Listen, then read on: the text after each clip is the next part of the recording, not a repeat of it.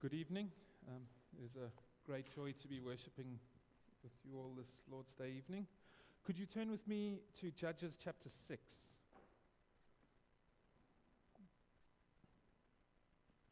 I'm going to be reading the whole passage, so it's all 40 verses. Let us begin. The people of Israel did what was evil in the sight of the Lord. And the Lord gave them into the hand of Midian seven years. And the hand of Midian overpowered Israel. And because of Midian, the people of Israel made for themselves the dens that are in the mountains and the caves and the strongholds.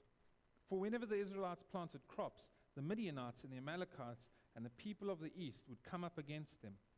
They would encamp against them and devour the produce of the land as far as Gaza, and leave no sustenance in Israel, and no sheep or ox or donkey for they would come up with their livestock and their tents. They would come like locusts in number. Both they and their camels could not be counted, so that they laid waste the land as they came in. And Israel was brought very low because of Midian, and the people of Israel cried out for help to the Lord.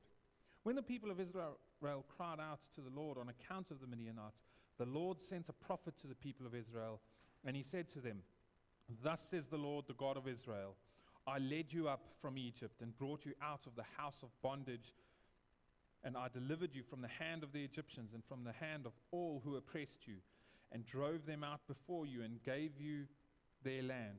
And I said to you, I am the Lord your God. You shall not fear the gods of the Amorites in whose land you dwell, but you have not obeyed my voice. Now the angel of the Lord came and sat under the terebinth at Ophrah which belongs to Joash the Abiezrite, while his son Gideon was beating out wheat in the winepress to hide it from the Midianites.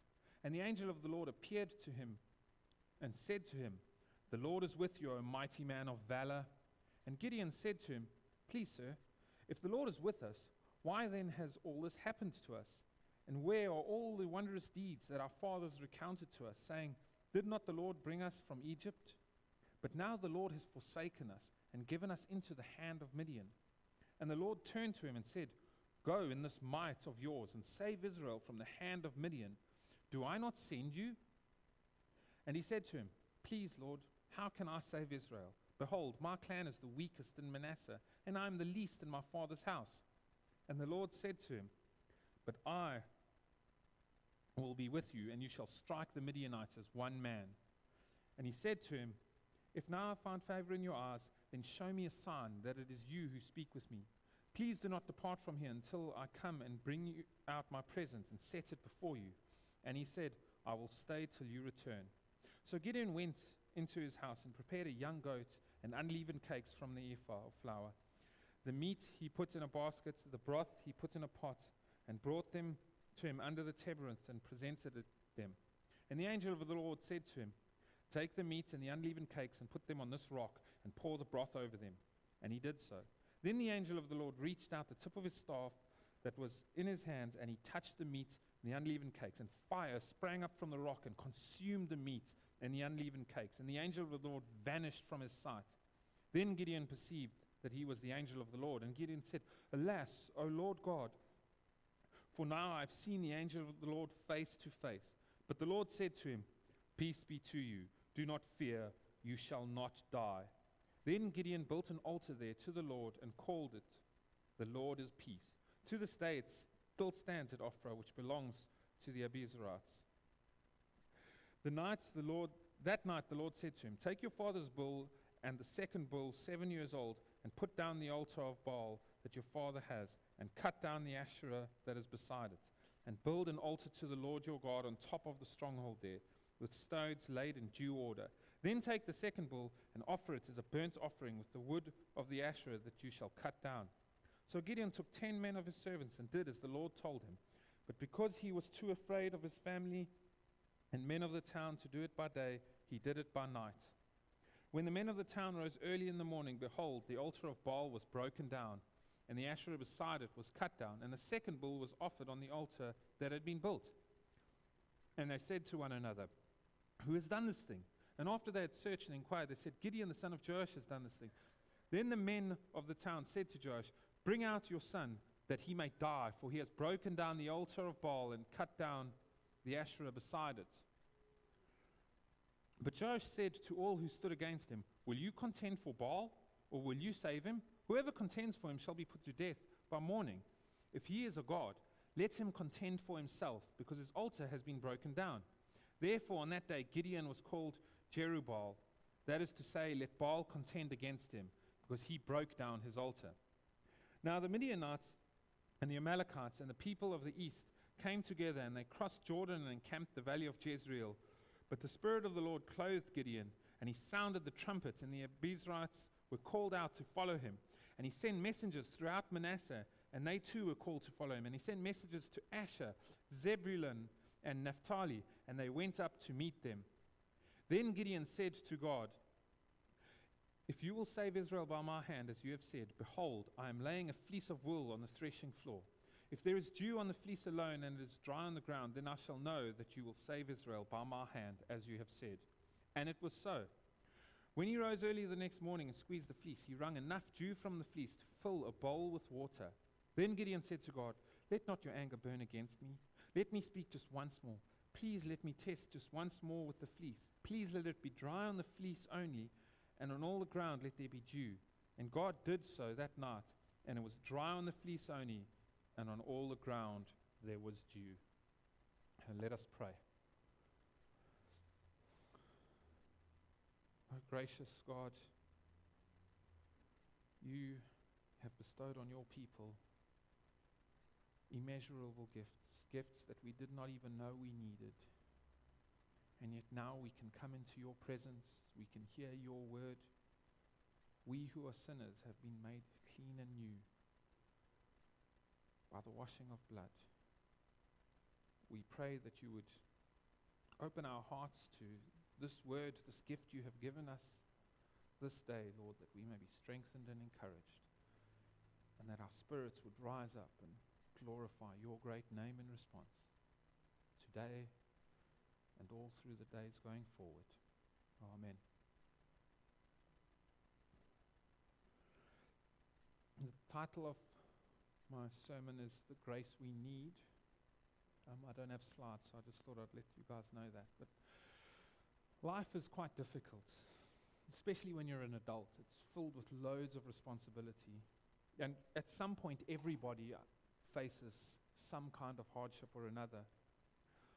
I remember the moment I came to this realization. I was still quite young. I was 18 and a student, and I just moved out the house.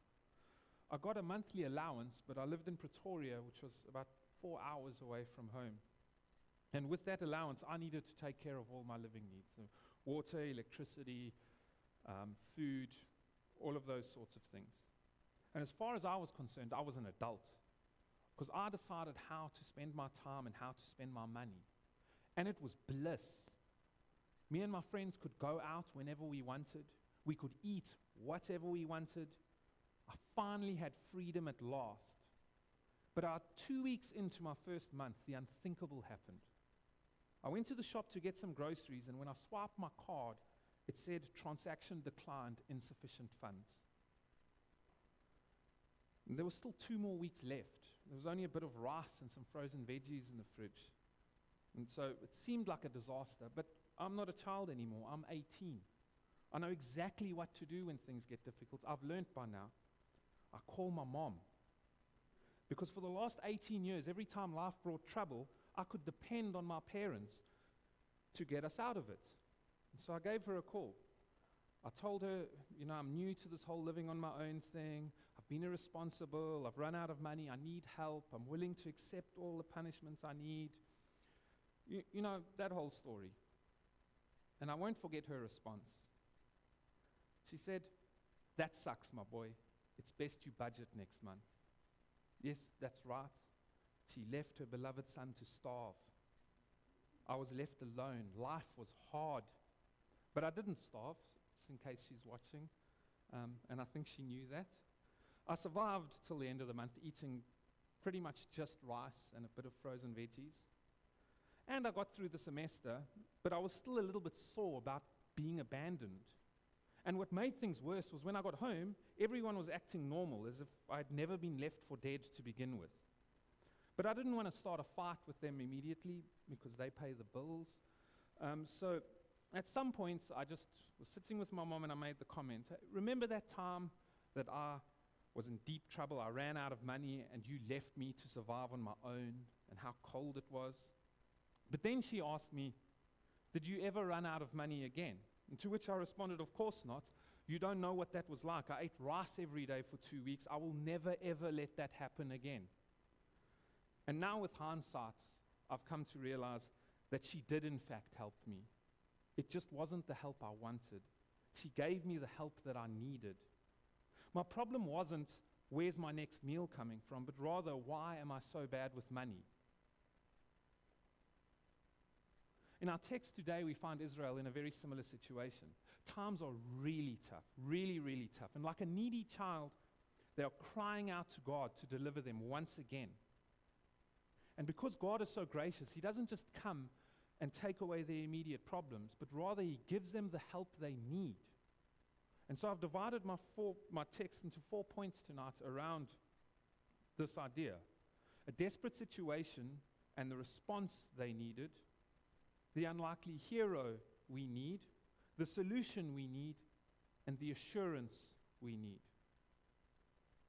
So let's start with the first one this desperate situation and the response they needed. The passage begins with a very familiar tale by now in Judges. We've seen the cycle played out numerous times.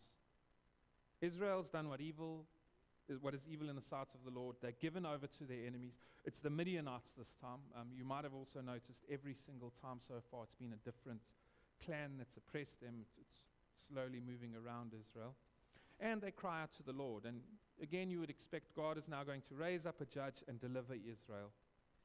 But this time, the situation has actually gotten far worse. Each time, it seems to be degrading. And now it's gotten really bad. Spiritually, Israel is a mess. They had forsaken the one true God. They were offering sacrifices to the false god Baal um, which is something they did in earlier in Numbers, and Midian was actually complicit in that. And they'd even set up altars all around Israel to regularly practice this idolatry. A household as insignificant as Gideon's had an altar to Baal. That should tell us how common this practice was all over Israel.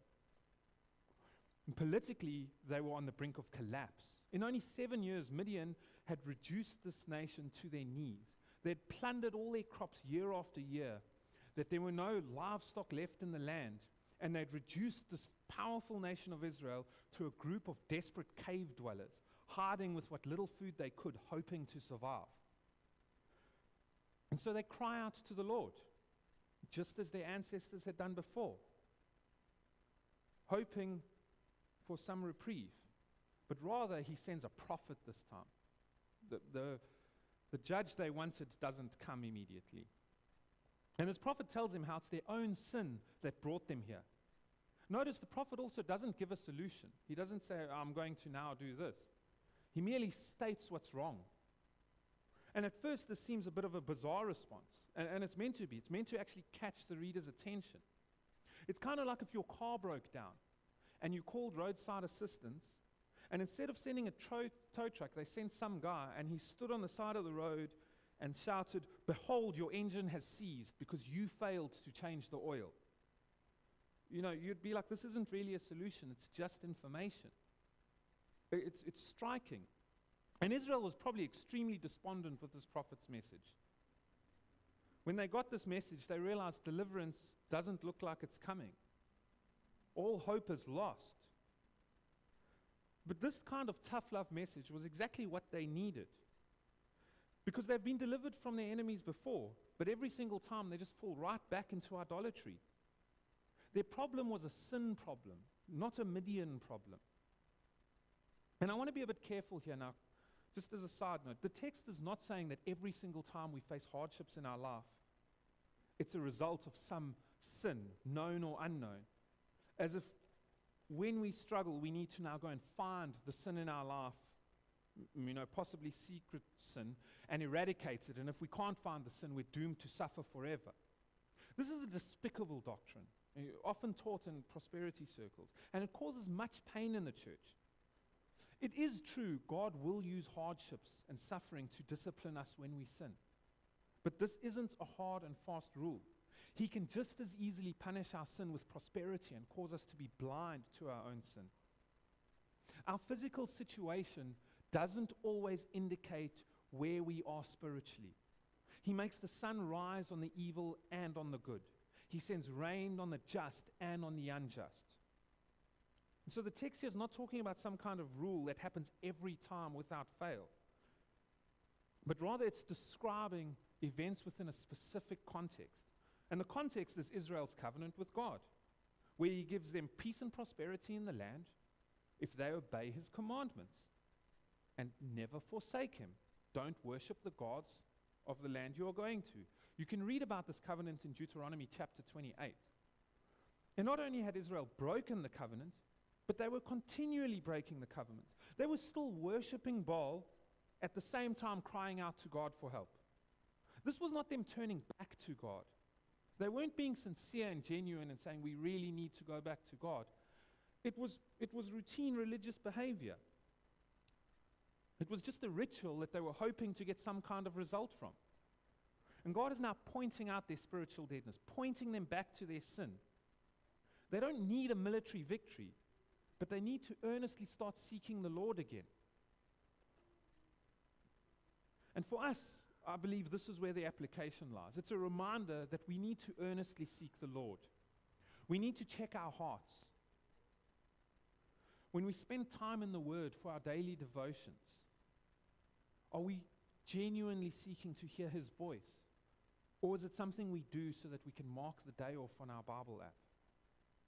And when we pray, are we seeking to petition Him and find His will? Or is it just a routine before bed? And, and same with worship. As we gather here, are we eagerly coming for our souls to be nourished and fed as we praise and glorify His name? Or is it just part of a routine attendance that we do at the end of every week?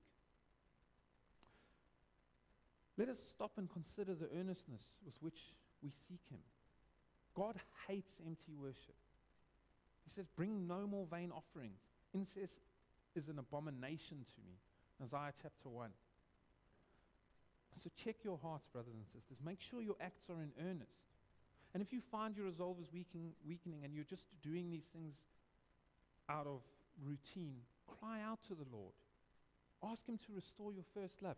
Pray to Him in earnest. As Matthew prayed earlier, that we don't just come here and do this week in and week out, but that we earnestly seek Him.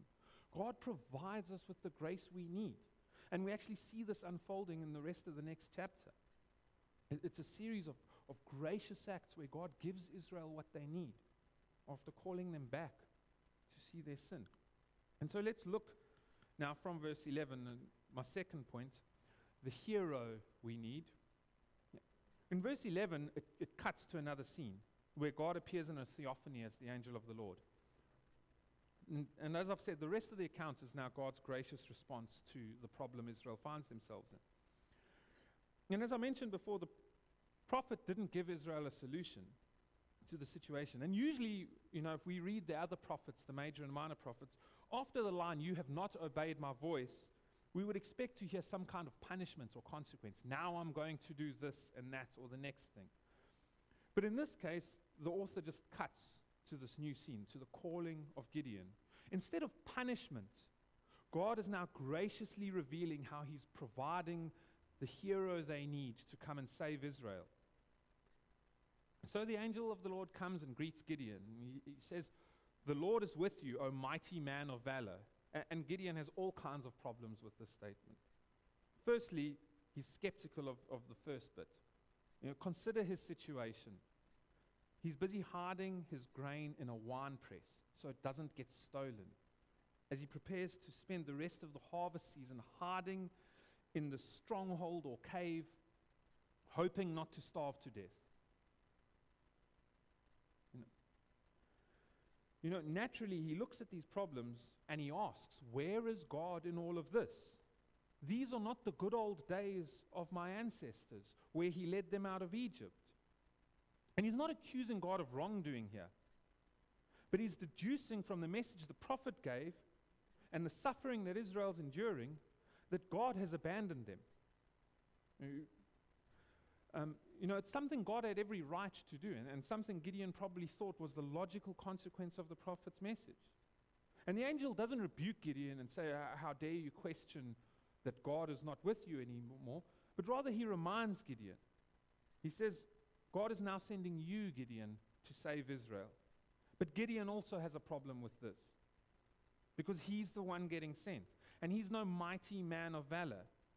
He's an insignificant person who's a coward from the weakest clan in the smallest tribe of a decimated Israel. How can he stand against nations that, whose camels and, and armies cannot be numbered, which is what the text says? What could he possibly accomplish? But what he didn't realize was that this is exactly the person God uses to do these great things. When he called Moses, Moses also felt incapable to the task. And when he made a covenant with David, David answered by saying, Who am I that you have brought me this far? This is a common theme in Scripture. It's a common theme in Judges. Othniel, the first judge, was an old man and, and not fit for leadership in that sense. Ehud had a deformity of his arm and was not fit to be this mighty, valiant leader. Deborah was a woman, and now Gideon, this man of low estate, is being called. This is what God does. His low estate is exactly what is needed because it's the perfect vessel to show that it's actually the hand of God moving. His insignificance is probably the only thing he brings to the table. This is how God works. And so he's assured by those comforting words I will be with you. Again, a common refrain that rings across the pages of Scripture. God is with him. This isn't about Gideon saving Israel. God is saving Israel, and he's using lowly Gideon. And again, we don't have to be the most gifted evangelist or most eloquent speaker or most talented person or whatever else we think is important to have a positive and good impact in the kingdom of God.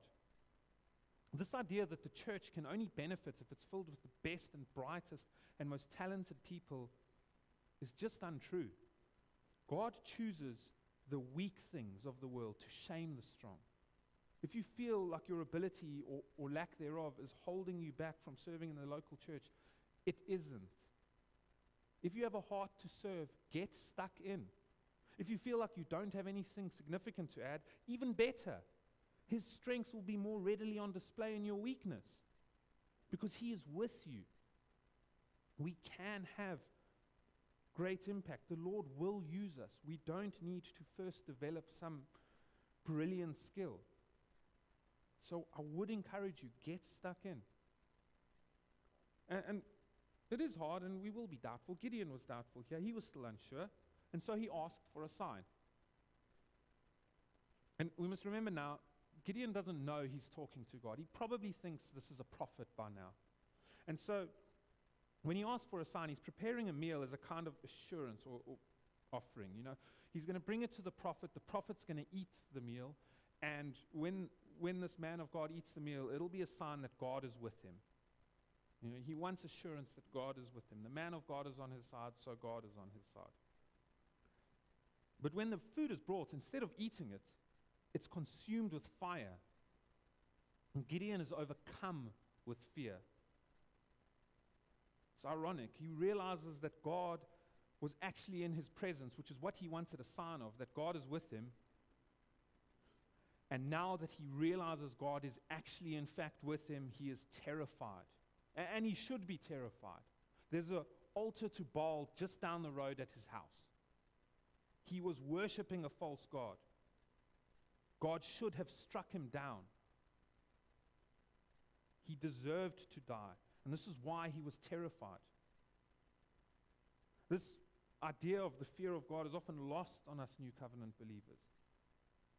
Um, we take the idea of access to God as something for granted. And Dale Ralph Davis puts it this way He says, We often think of intimacy with God as our right rather than an, the indescribable gift. There is nothing about amazing about grace as long as there is nothing fearful about holiness. The idea of God abandoning Israel now melts away at the reality of Him being there among the Israelites because He should smite every single one of them. He is the holy and righteous God who is jealous. And he has commanded them not to worship other gods. And now he is there, and they have done what he has said they should not do. But he doesn't smite them, he doesn't strike them down. He is a gracious God. He is slow to anger, he is abounding in steadfast love. And he is there to deliver them. He is the hero they need. Because it wasn't Moses who brought them out of Egypt. It wasn't David who defeated Goliath. It was God using these weakened and imperfect using these weakened and imperfect vessels. And now he is graciously doing it again. And so he tells Gideon, Do not fear. I am with you. And then he sends him on his mission, which is my third point the solution we need. As we see from the get go, the primary mission of Gideon is not the conquest of Midian, but rather the destruction of Baal worship. Defeating the Midianites would only be treating the symptoms. The real problem is that they had abandoned God. They fixed that. The Midianite problem will come later. God is a jealous God, He is a holy God, and this holiness should be feared. Idolatry brings His wrath. He's rescuing Israel from their idolatry. First, Midian first. He's providing the solution that they need, not the one they want. You know, if we go back to the broken down car illustration, it's like roadside assistance sending somebody to come and replace your engine instead of sending a tow truck. Because tomorrow you're going to need to get around and your car is of no value if it's on a tow truck. You'd still be stuck it would be a better solution. And likewise, now, God chasing the Midianites away doesn't fix Israel's problem. They will still be worshipping Baal. In Matthew 6, tells us that nobody can serve two masters. There can only be one master of Israel. It is either the God of the Bible or Baal. It cannot be both. We either have true worship or false worship, not a mixture of the two. And, you know, maybe you're thinking, now, lucky we're safe. We live in an enlightened time. People don't bow down to statues anymore. So we don't need to worry. I would say, think again. Matthew 6 is not talking about a statue, it's talking about money. Romans 1 tells us of man forsaking God for created things. All of creation, anything can become an idol, even good things. Where your heart is, that's where your treasure will lie. Your heart can draw you away to idols. As John Calvin famously said, the human heart is an idol factory. And so we need to regularly search our hearts. We need to look where it truly lies. We need to consider are our affections being drawn away by idols? Are these created things stealing our affections from God? And when we find them, we need to tear them down. We need to take what we were giving these idols, our time, our money, our affection, and we need to redevote them to God. This is what Gideon was told to do. There were two cows there. The, the first one was most likely a cow um, that was dedicated for Baal worship, and so Gideon took it away, and so taking away from Baal what was due him. And the second cow of seven years old would represent the seven years they were under Midian oppression. And God the second cow was sacrificed while burning the Asherah pole. He was removing false worship from the land and replacing it with true worship. And some look at the text and complain that he did it at night like a coward. And this is true. It shows us that he was. He was a terribly fearful man and very reluctant to do these things. But on that, I would just say better a coward who removes his idols in the dark than a brave man who lets them stand. Uh, the, God gave him an instruction and he obeyed it. Uh, that's what matters. And he had good reason to be afraid as well. I mean, when the people saw what he had done, they wanted to kill him. And this is because dealing with idolatry is always difficult. People hate it. Why do you think so many churches refuse to talk about things like money or politics when the Bible says so much on these things? And it's not just these two things, it can be anything gender roles, entertainment, security, comfort. The list can go on and on and on. The human heart is an idol factory. Our heart manufactures things, these things at a rate that we can't even comprehend. And people get angry when you try and bring down these things that they value the most. It isn't nice addressing these things. This is one of the reasons we do expository preaching here at this church, because we're forced to talk about these hard things. Because when the Bible talks about it, we then have to address it. So if the preacher is saying something that offends you, don't get angry, but consider that maybe the Word of God is now confronting your idolatry. And that this Word is now helping you. It's empowering you, it's emboldening you. Because idols are useless, they serve no purpose. And without them, we're way better equipped to serve in the kingdom. Our, our, our minds and our hearts are not distracted from these trivial things that will fade and fall. And this is what we see here. After Gideon's father wisely explains to the people that if Baal is so great, why can't he save himself? You know, they let him live. They were unhappy, and so they gave him a name to say, like, Baal will contend with him. But when the Midianites and the Amalekites assembled for their annual plundering again now, we see something very different. We see Gideon, clothed by the Spirit, rallying the forces. He's a changed man. From a coward who was doing things in the dark and hiding behind his father, and this nobody from a small clan in the middle of nowhere, he's now valiantly rallying troops, calling people from other tribes. This is the power of the Spirit of God at work. The altars of Baal have been removed, and so now God's work can clearly be seen, working through his people. And similarly, as we rage on in our present battle, our spiritual battles, we can't afford to turn to created things for help.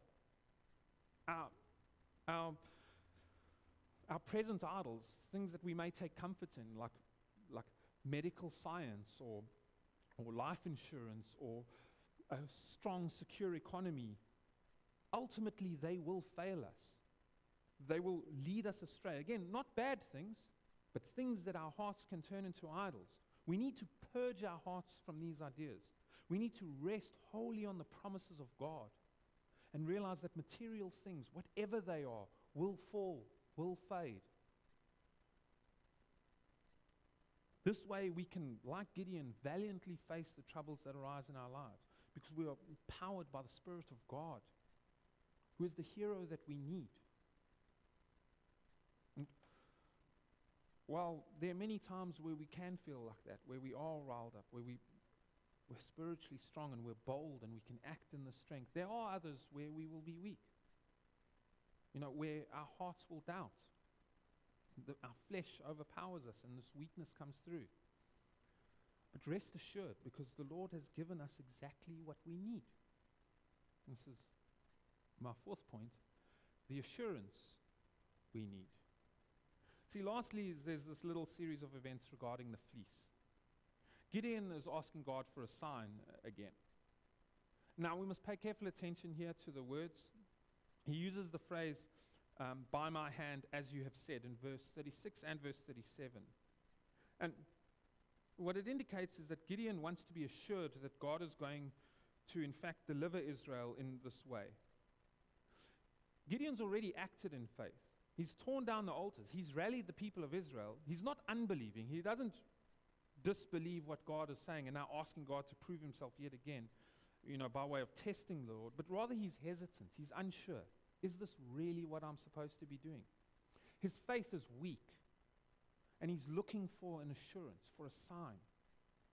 It, it's more like a, I believe, help me in my unbelief kind of situation. Lord, help me here. I want to go. I've started this, but I'm hesitant. And again, this feeling may be very relatable for many of us Christians. These kinds of doubts that creep in. And these verses here um, don't show, like, they, they're not here to highlight Gideon's great unbelief now, like, oh, look how weak he is. No, rather, look again, look that God gives the sign. It shows us that God is gracious, that He's willing to come down and give us the signs our weakened faith needs. He gives us our assurances. How comforting is that? How gracious is this holy God that we serve? And so often we see admission of weakness in the church as taboo, as if if people have any kinds of doubts or weakness of faith, we want to pretend it doesn't exist. Sometimes people are even afraid that this kind of weakness means that they may lose their salvation, and so block it out completely. I, have even heard this given as advice, and I, and I think it's foolish advice. If someone comes, they're like, My faith is really weak.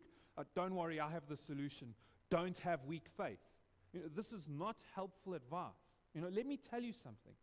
Spurgeon and Luther had doubts, and they struggled with doubts tremendously. Thomas, who lived, and, lived with and saw the Lord Jesus Christ, he doubted. And Christ was happy to show him the scars, to assure him of these things. A weakened faith is not enough to cost you your salvation. Unfortunately, you don't have the power to undo that. Then God will give us the strength and assurances we need. He gave Gideon the sign. And let's look at the sign because I think it's significant and it points us to this assurance. It's exactly the sign we all need. Let me explain. In much of Palestine, especially during um, the early autumn and late summer, the dew would fall very heavily in place of the rain. It was the dew that nourished the land. And so the idea of dew became synonymous with God's grace and his blessing. We see the, the term the dew of heaven appear in the text of Scripture very often. And barrenness, or the removal of dew, was synonymous with barrenness and the removal of God's grace. This is why when Isaac blessed Jacob, he asked God to give him the dew of heaven. And similarly, Moses mentions dew as a blessing in Deuteronomy 33. And in the sign here, we see the dew or the blessing of God on the fleece, while the land remained barren and dry. But the second time around, and the more miraculous sign that, that Gideon asked for, the dew now had gone onto the land, or the blessing had gone onto the land, and the fleece was dry, or the fleece had now taken that barrenness, that curse. See, this sign would have been incredibly encouraging and comforting to Gideon. Because in his mind, it symbolically represented that blessing is now coming to the land of Israel. And this is a sign of blessing from God for his people for all ages. Because tragically, we'll learn that in the coming weeks, even with Gideon in Israel, they still fall back into idolatry. He is not the ultimate leader that they needed, it was God. And the sign here points us to this eternal hope, to this great judge who will one day save all people. The sign of the fleece is, is a type of Christ or a, a, a symbol or a foreshadowing. It points us to Him very subtly. Because just like the fleece takes on the barrenness of the land, and the blessing then goes out into the land of Israel, so Christ has taken on our sin and curse. And He has freely distributed His grace to all in the church. What a glorious reminder this is for Christians of all ages. Andrew Fausset says this of the sign. He says, This sign is admirably calculated to both confirm his faith and at the same time to assure the children of God in all ages that he will keep his promise of making perfect his strength in their weakness. And so this points forward to this great hope, and it assures us that even in our weak faith, God was gracious enough to come down to make his perfect strength known in that weakness. So if you're sitting here tonight, if you're watching online, maybe you struggle at times with doubts. Maybe this pandemic has really done a number on your faith. You, loved ones are dying all around it. Livelihoods are being lost. People are losing work. People are losing businesses. Life is really hard at the moment. Medical workers are, are put in tremendous danger day in and day out, struggling as they battle this. You know, maybe you're really struggling. You're struggling to hold on. And if so, I'd encourage you cry out to the Lord. Ask Him to strengthen your faith. Ask Him to remind you of His sign. Ask Him for those signs. And I don't mean take a blanket and go put it on the grass and ask for dew to fall in, a certain way. We don't need that anymore. Because God, in His divine sovereign will, has already provided the sign of assurance that we need. We don't need to look for new signs. He's given us one, one that points back to the same work of Christ that that one was pointing forward to. It's something we partook of this morning. It's the table, not this table, it was on the table, the communion, the elements. So we don't need to think up little tests and validate our assurance this way. God has provided the sign we need. Hmm. It's, this sign is a better one. Dale Ralph Davis again, he says, He has provided a table instead of a threshing floor, and bread and wine in place of a fleece. See, that one pointed forward to the coming Savior. And now this one points us back to this great event, the greatest event in all of creation's history, where body was broken, where blood was shed on our behalf. And because of this, nothing, nothing can ever separate us from the love of Christ. Nothing ever, not even weak faith. So if we do grow weak, if we forget these wonderful truths, God has graciously given us the sign we need, the reminder of what has already been done. Brothers and sisters, do not neglect this sign. It is very significant. Don't take it lightly. It's not something we merely do some Sundays. It is a gloriously gracious gift from God, a sign given by Him, one that gives us great strength in our weakness, that gives us assurance and hope. I can personally attest to this. During this pandemic, during these difficult times, this has been one place I could come to and I can feel my faith being strengthened. So come to this table, cling to it. Use it to assure you and remind you that God has already delivered us. Be reminded that God is with us. He will never forsake us. He is the Savior that we need. He has provided the salvation that we need. He gives us the assurance we need. And His grace is all that we need. He will never forsake us. Let's pray.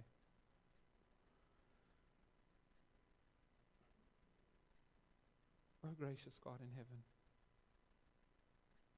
how good you have been to your people. Lord, as we bring this evening to a close and we lift up our final song to you, Lord, we pray that you would fill us with your spirits once more. You would stir our hearts and affections towards you.